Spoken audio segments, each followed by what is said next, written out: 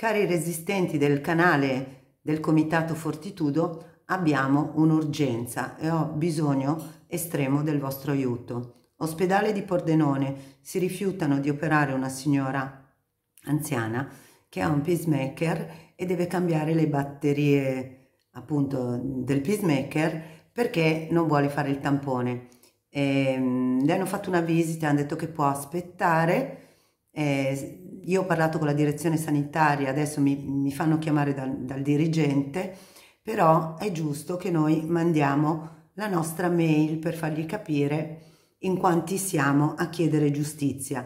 La mail è urp chiocciola asfo.sanità.fvg.it la PEC è asfo.sanità protgen chiocciola cert sanità fvg.it ma ve le scrivo. Partiamo con le mail. A raffica.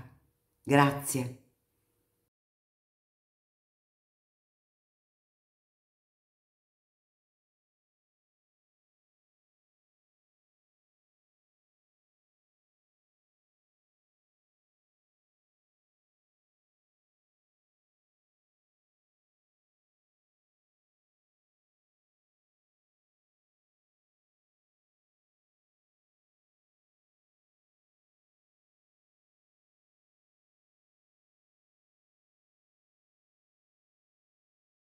Allora, noi abbiamo mandato sia eh, la mail che la PEC, così eh, non possono far finta di niente.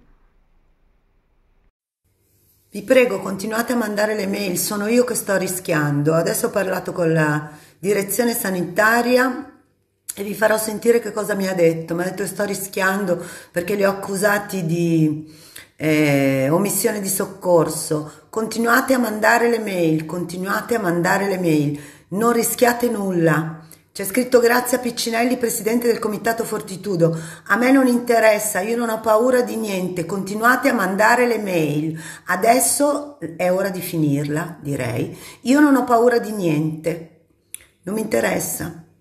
So di essere dalla parte del giusto, continuate a mandare le mail, grazie. Non so se avete visto l'ultima che mi sono inventata, che ho messo anche sulla lettera e che ho detto anche agli ultimi tre medici eh, che, con i quali ho parlato. Eh, ho fatto questa domanda. Voi avete fatto un giuramento di Ippocrate o avete giurato sulla circolare Schillaci? Non è male, dai.